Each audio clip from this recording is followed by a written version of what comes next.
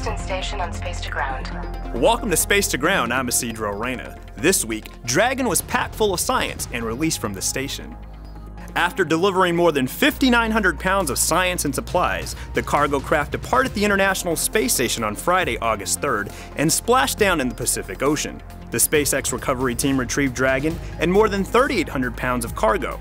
The cargo included science samples from human and animal research, biology and biotechnology studies, physical science investigations, and education activities. Find out more about the returning cargo on the web at nasa.gov/spacex.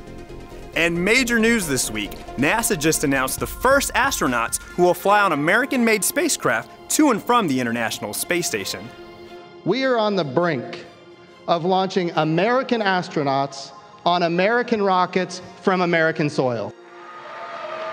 NASA assigned nine astronauts to the first test flights and post certification missions for Boeing's Starliner and SpaceX's Crew Dragon under the Commercial Crew program.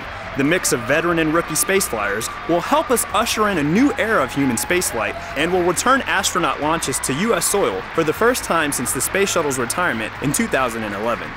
NASA has worked hand in hand with Boeing and SpaceX for nearly a decade to design, develop, and test their systems to ensure safe and reliable commercial transportation for astronauts to low Earth orbit. This will be an unprecedented achievement for the commercial space industry and will allow NASA to focus on deep space exploration.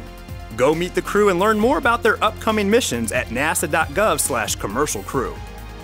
Keep sending in your questions using the hashtag SpaceToGround. We'll see you next week. Off the Earth, for the Earth. Space to Ground.